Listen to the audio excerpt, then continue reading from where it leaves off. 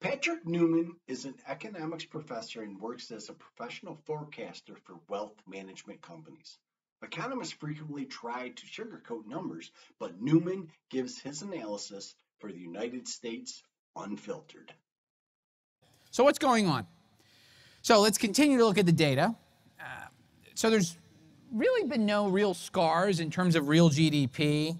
Uh, this is real GDP starting in, say, 2017, goes to 2019. We all know what happened in March of 2020. It fell off a cliff, and then it's rebounded. A little bit of difficulty going on in 2021, 2022, but now we're actually growing above uh, what the Congressional Budget Office had predicted we would be uh, in December of 2019. We're growing above what's known as potential real GDP.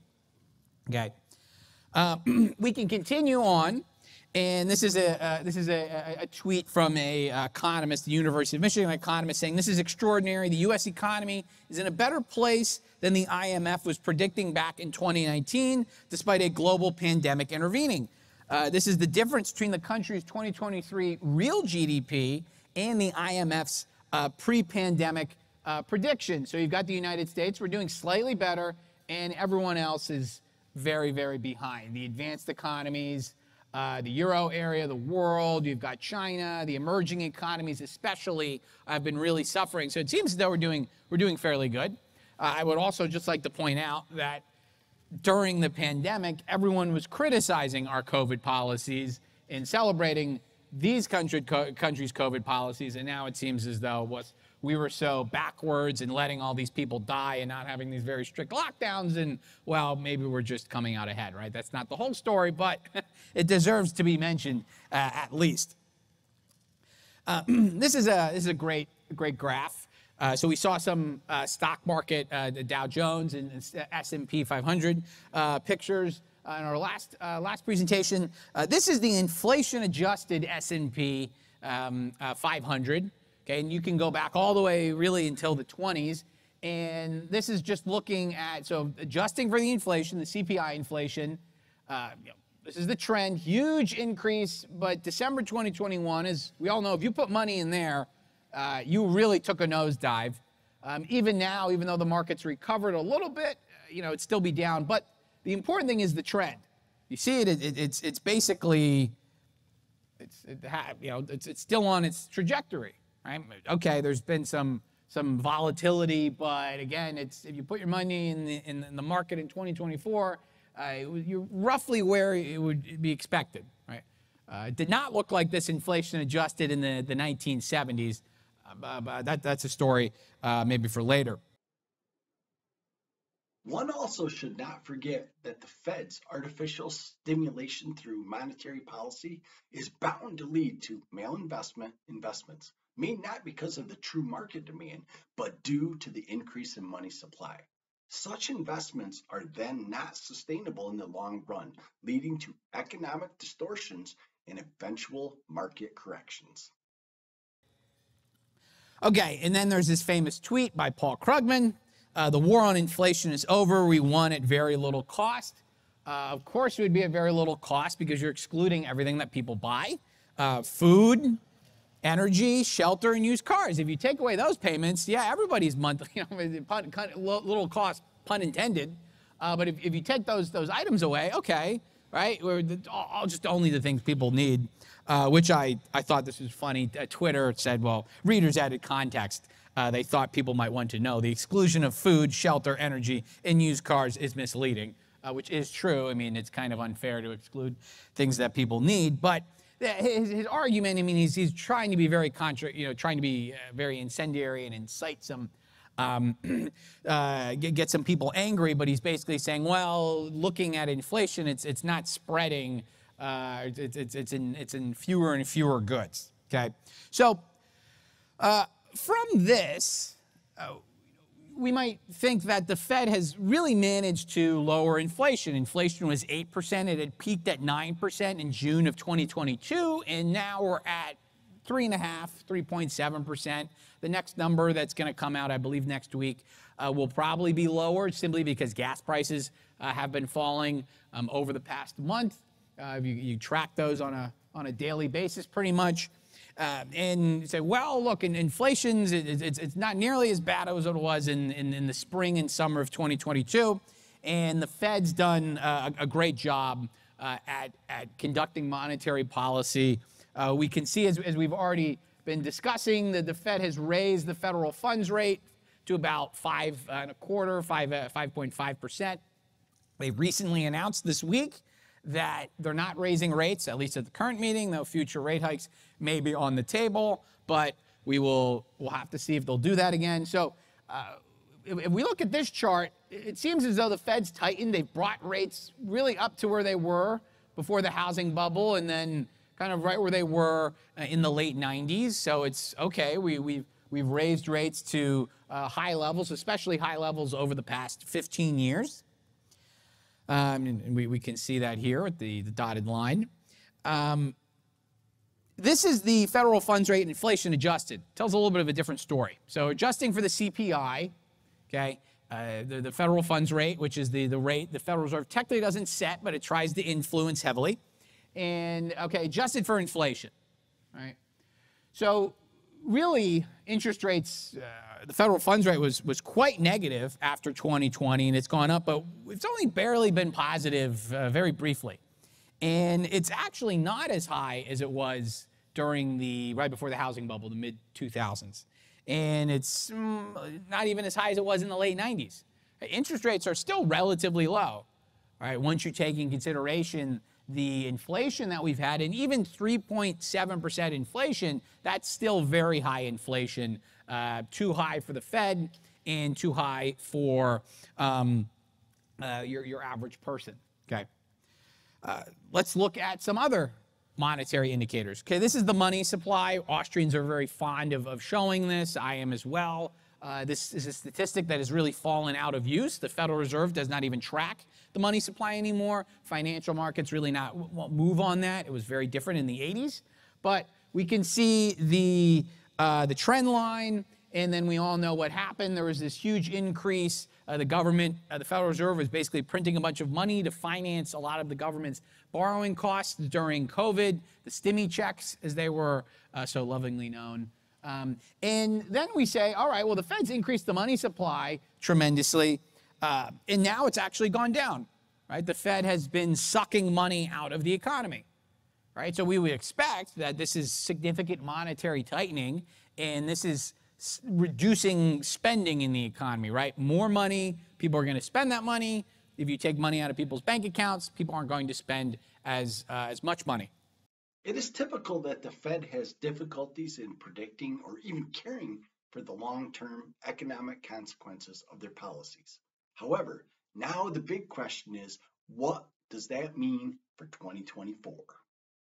Let's look at it after the Fed has tightened.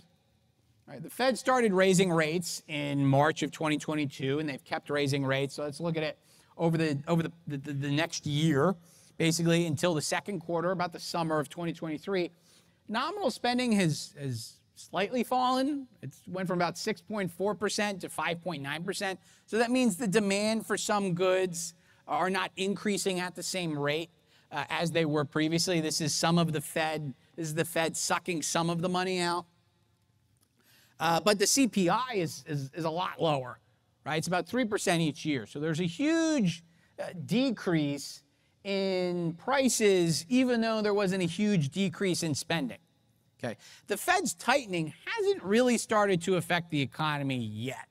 Right? I'll talk about it. Might we might just be starting to see this, but it takes time, and especially this makes sense given that real interest rates aren't actually that high, right? Once you adjust for inflation, as I as I explained. So, as a rough approximation, this could be subject to uh, you know a wide degree of error, but I, I think it's think I'm, I'm, I'm fairly confident in this that the Fed caused inflation to rise from about 2% each year to about 3.5 to 4%. Maybe at one point it was 4.5%. So that 9% inflation, and I had said this in, in earlier uh, presentations, about nine, that 9% inflation, uh, you know, large part of that was supply shocks. About half of it uh, was. Okay.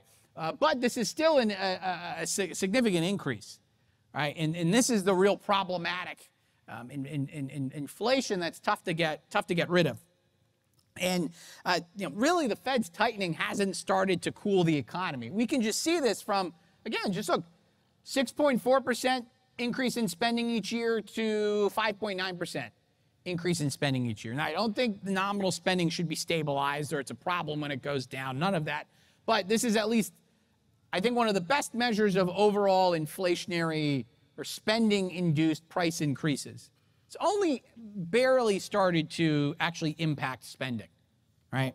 So I, I think uh, a lot of people are, are celebrating, uh, the, the, they're doing their victory laps a little too soon because we really haven't started to go through uh, the, the, the tightening yet. Right. And in fact, nominal spending and inflation both picked up in the third quarter right? That little green arrow I showed, the, the, the, monetary spigots, we keep spending money. The demand for money keeps falling. People are spending away their excess COVID cash balances, going on big vacations, uh, so on and so forth. All right.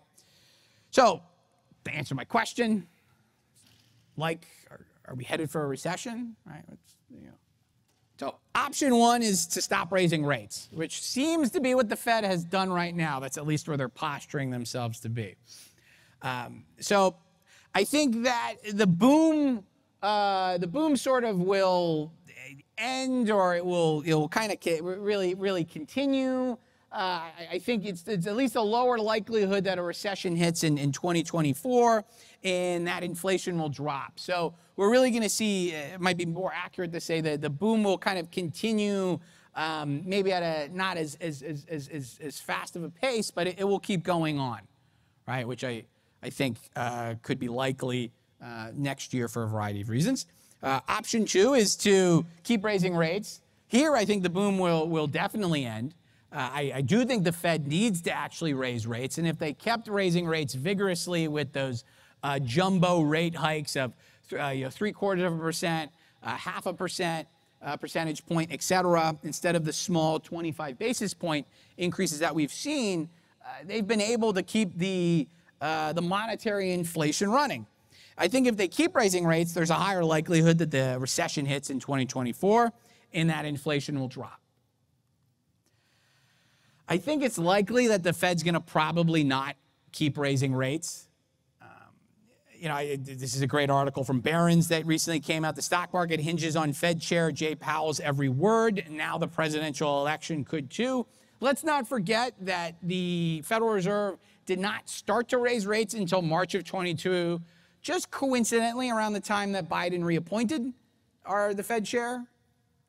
Right? Like it, it, it seems unlikely that the Fed's going to raise rates and cause a recession um, when its guardian, so to speak, is, is up for reelection or the, the, the, the government.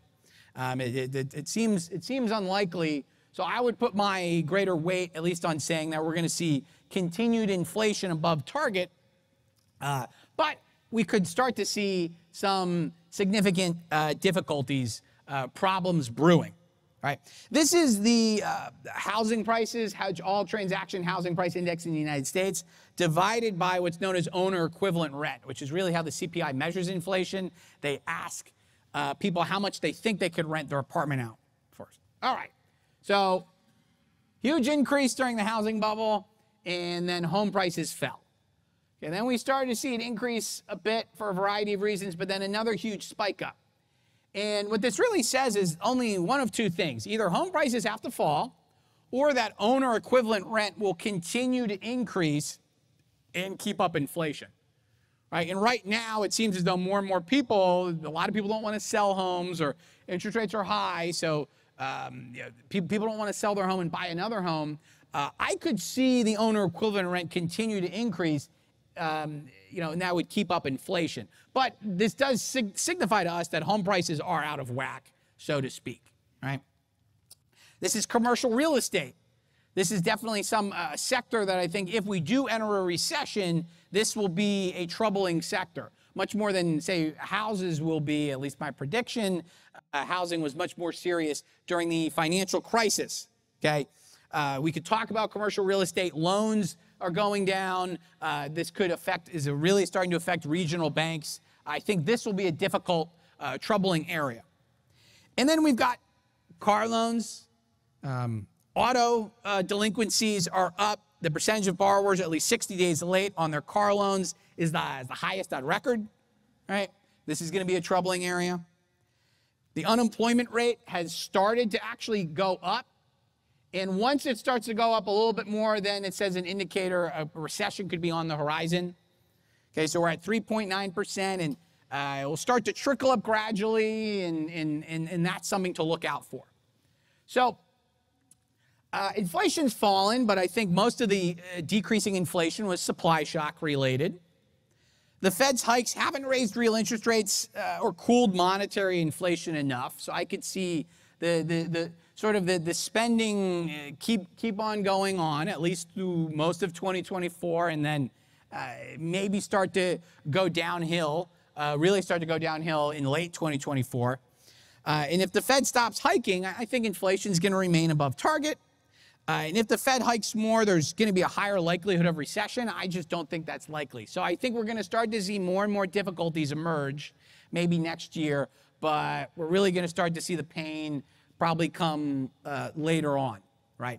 So those are at least my, uh, my, my, my, my, predictions, um, at least what I think is going on with the macroeconomy. Thank you so much for watching. If you enjoy videos like this, please subscribe and hit the notification bell.